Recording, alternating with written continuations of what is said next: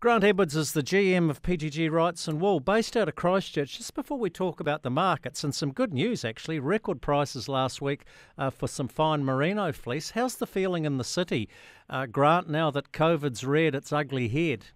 Uh, yeah, Jamie. Yeah, pretty concerned to be honest. Um, from what I can gather, I was actually up in uh, Napier to our sale uh, um, yesterday and, and Wednesday, and I just came back last night. But yeah, there's a, there's a lot of uncertainty and um, just unsure, and uh, it's a bit of a waiting game, I guess, as, as we um, try and understand what the, to the degree in, in Christchurch here that it's um, that with the, the COVID um, is uh, is in the community. Well, I'm hoping like hell you can ring fence it.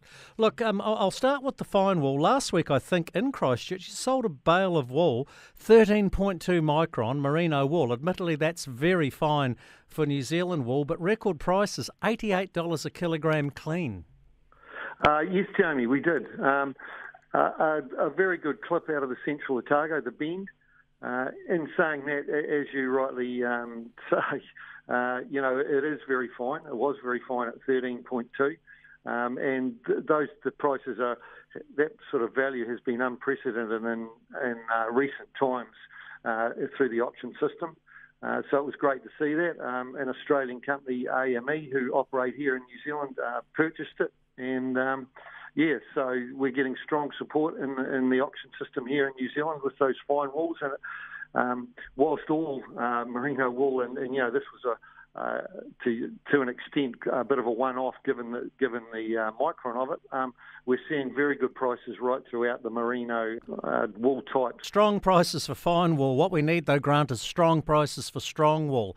I know it's off its lows because it got really low back at the beginning of the year, but how are we looking now? Is the light at the end of the tunnel? What's happening? Because I know there's lots of supply chain issues right around the world, and it's certainly not happening the wool market as China basically dips in and out at its own will, really.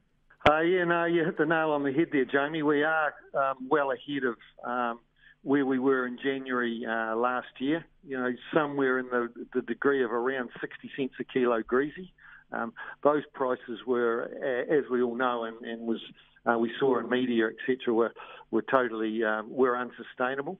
Um, we have had those lifts. We've seen steady prices throughout October, uh, but we certainly acknowledge, I certainly acknowledge that they're not at the levels that we want them to be for those crossbred wools, and that they're not at the levels that they um, they should be.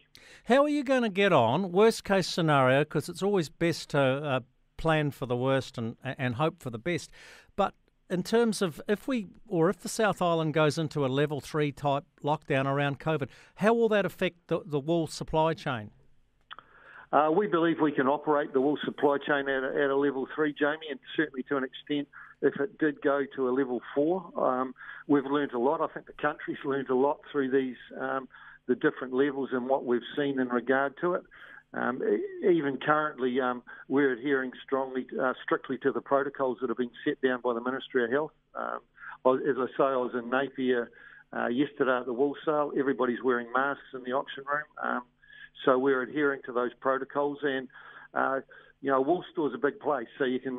There's a lot of um, empty space, if you like, um, with with limited people moving around. So we certainly believe we can uh, work to those protocols that are set down, and we we have as an industry. Uh, worked very closely with MPI in that, and um, come a long way from those earlier days of um, of the understanding, etc. Okay, Grant Edwards, thanks for your time from PGG Wrightson Wool. I really hope you guys in Christchurch can kick COVID to touch. Good luck. Yeah, for sure, Jamie. Cheers.